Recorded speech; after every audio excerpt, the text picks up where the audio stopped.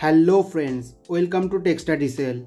In this video, we will make an IoT-based smart AC dimming circuit using ESP32 to control fan speed with ESP Rainmaker, Google Home and Amazon Alexa. Turn on fan. Sure, turning fan on. Set fan speed 3. Got it. Setting fan speed to 3. Alexa, Make the fan speed 4. Okay. If there is no internet, still you can control the fan with IR remote and manual selector switch. The ESP32 can also remember the previous state in the EEPROM memory. During the video, I have explained how to convert a normal regulator to smart IoT based regulator using free IoT platform. And in my previous videos, I have already built complete home automation system with fan speed control using different IoT platforms. So you can also check those videos after watching this video. You can find a link in the description. Now without any further delay, let's get started. To make this project, you need an ESP32, 4 channel relay module, IR receiver sensor, 4 step regulator. Here we will use capacitive reactance. So this type of regulator will not work. So we have to use 4 step regulator. Here you can see I can change the step.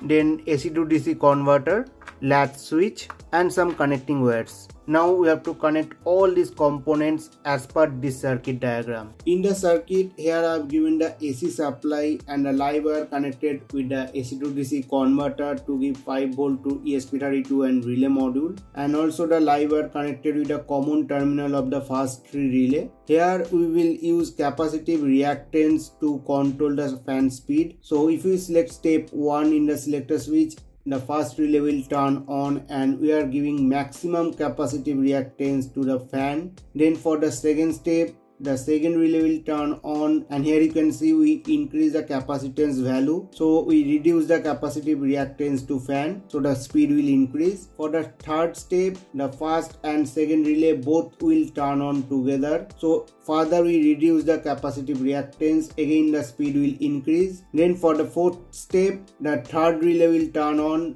and here you can see we are directly giving the supply to the fan so no capacitive reactance fan will rotate with maximum speed. In my previous video, I already designed this PCB to control 4 relay along with fan speed using Altium. You can find the video link in the description. And now let me introduce you all to their brand new platform Altium Develop. It's a powerful cloud-based platform that brings electrical, mechanical, software, sourcing and manufacturing team together to a single shared space. So everyone works in real time with shared data and context. No more endless meeting or confusing email chain. With Altium develop, feedback, update, decision happens instantly, keeping whole team connected and project moving faster.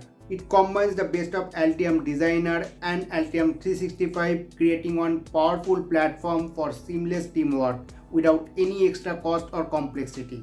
That's why top electronic companies around the world trust Altium for their product design and innovation. So if you are ready to speed up your workflow and take collaboration to the next level, start your free trial of Altium Develop. Link is in description so here we will use this regulator to control the speed. So let me open it. So here you can see we will use this capacitive reactance to control the speed and this is the selector switch. So you have to first desolder the selector switch from this PCB here you can see I have marked 1, 2, 3, 4 step on the PCB and you can easily do that with the help of this selector switch. The selector switch was placed in this manner. Now if you see carefully on the top here is step 2 so I have marked it 2 then this is step 1 you can see one is here. So i marked it one. Selector switch was placed in this manner. So this is step one. Then this is step three and this is step four. After marking all the step now we can connect this PCB with the relay module as per the circuit. These are the source code for this project. You can download the codes from our website iotcircuithub.com. Just visit the related article. You can find the link in the description. Then you can download the codes from these buttons. After downloading, first you have to get the hex code of IR remote buttons. So I will open this sketch with Arduino IDE. Here you can see I have connected this IR receiver. The circuit is very simple. Now let me connect the ESP32 with my laptop. Now in the code here you can see it will just print the hex code of the IR remote button. Now let me select the proper COM port then select the proper board. Now we will upload this code. Now after uploading, I will open the serial monitor, select the baud rate. Now I will just press the IR remote buttons to get the hex code. Now I will copy this hex code and paste it in a notepad. Then I will open the main sketch of this project with Arduino IDE.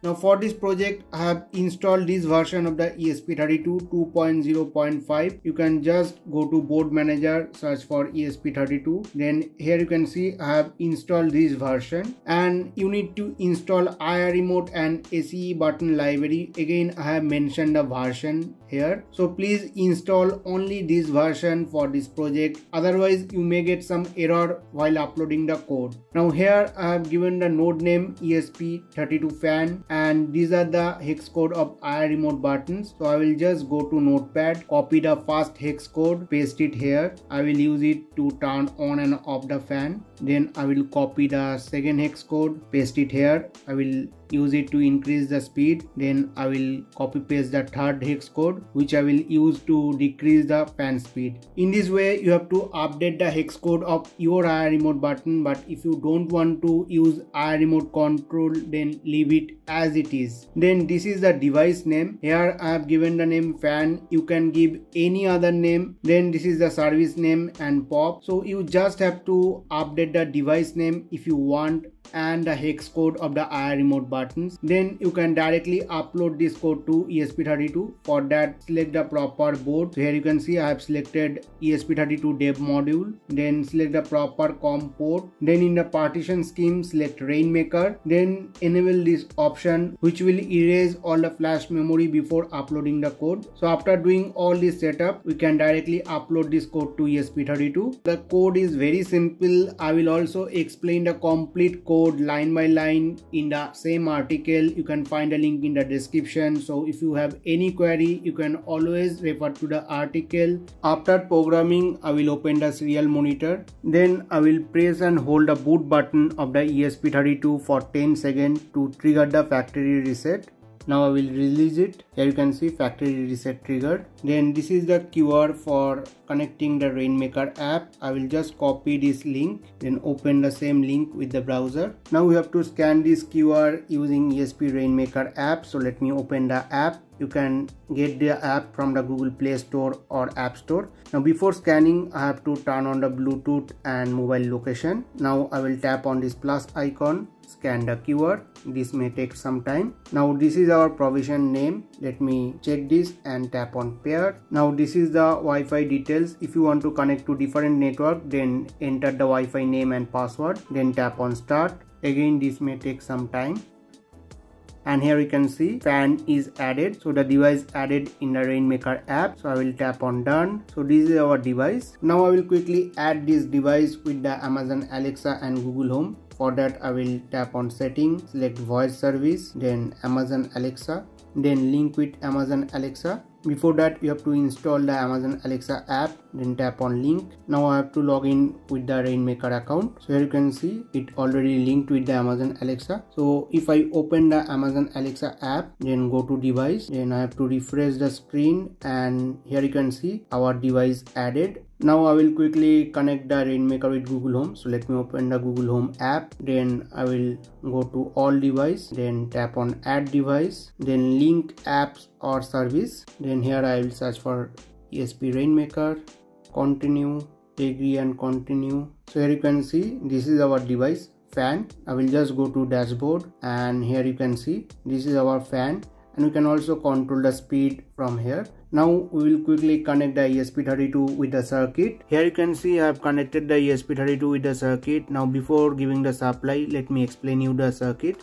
Now this is the AC supply and this red wire is the live wire. So here you can see live wire is going to this AC to DC converter for the 5 volt supply for relay and ESP32 and another live wire is going to common terminal of the first second and third relay now this is the fan regulator circuit. Here you can see step 1 connected with the blue wire and blue wire is connected with the NO of the first relay. Then step 2 connected with the green wire green wire connected with the NO of the second relay. Then step 4 here you can see this is step 4 step 4 connected with the yellow wire and yellow wire is connected with the NO of the third relay. And this red wire is going to the load. Here you can see this red wire is going to the load so make sure you connect the steps with the relay according to the circuit and this selector switch connected with the ESP32 as per the circuit. Now I will give the supply to this circuit. Now let me turn on the supply and here you can see the blue LED turns on so it connected with the Rainmaker app. So let me turn on the bulb. Now the brightness at step 1 let me go to step 2 now let me change the brightness with the selector switch. Now let me control it with the IR remote. Let me turn it off. Let me turn it on. Let me change the brightness. Now let me go to Google Home. This is our device. Let me change the brightness to 1 now let me go to Alexa. Then this is our device. Let me increase the brightness to 3 so the circuit is working fine. Now we will place the complete circuit inside this box. Now let me connect the smart regulator with the main supply and fan. According to this circuit diagram please take proper safety precaution while working with the high voltage. Now let me turn on the supply. So now i can easily control the fan with rainmaker google home and amazon alexa and in my previous video I have already built complete home automation system with fan speed control with different IoT platform. You can find the links in the description. So if you find this video helpful then please hit the like button and share it with your friends. Don't forget to subscribe for more such videos. Thank you for watching. Have a great day